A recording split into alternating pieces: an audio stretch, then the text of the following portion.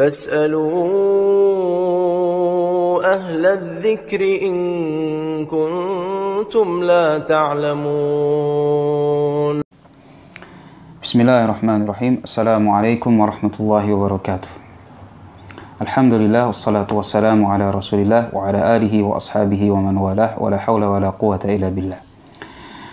Insyaallah kita akan masuk faedah pertama yang dibawakan oleh penulis dari 117 faedah yang dibawakan dalam kitabnya Fawaidut Taqwa Minal Qur'anil Karim.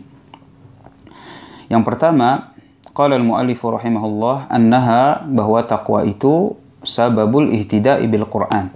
Dia itu sebab untuk menggapai hidayah dari Al-Qur'an, menggapai hidayah dengan dengan Al-Qur'an. Qala ta'ala Allah Subhanahu wa taala berfirman, "Dzalikal kitabu la raiba fi." Inilah Al-Qur'an, Alkitab yang tidak ada keraguan di dalamnya sama sekali.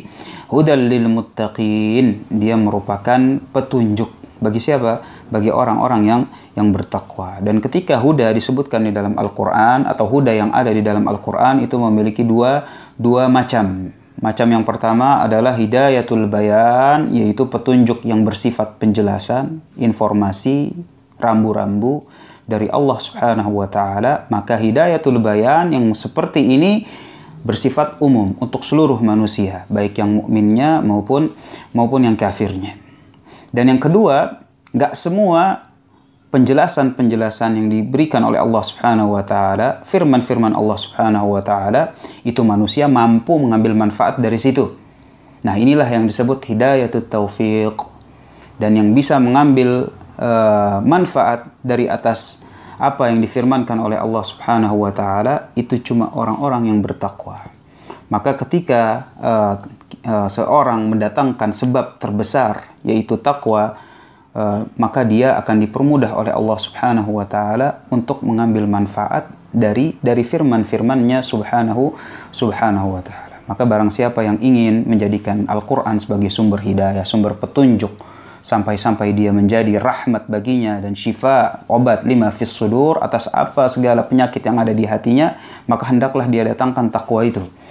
Um, dia berusaha menjalankan apa yang Allah Subhanahu wa taala perintahkan dan dia jauhi semua larangan dari Allah Subhanahu Subhanahu wa taala. Maka kapan seseorang makin naik derajat takwanya, maka dengan itu dia makin mudah mengambil manfaat dari apa yang difirmankan oleh Allah Subhanahu Subhanahu wa taala.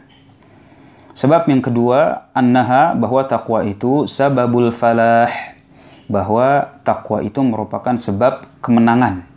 Qala ta'ala wa ulaika humul muflihun dan orang-orang yang bertakwa itulah orang-orang yang orang-orang yang menang. Al-falah berkata Imam As-Sa'di rahimahullahu taala dalam tafsirnya, al-falahu al-fauzu bil matlub wan najatu minal marhub. Al-falah itu kemenangan itu adalah al-fauz bil matlub. Dia menggapai apa yang dia cari. Apa yang dia cari dia dapat.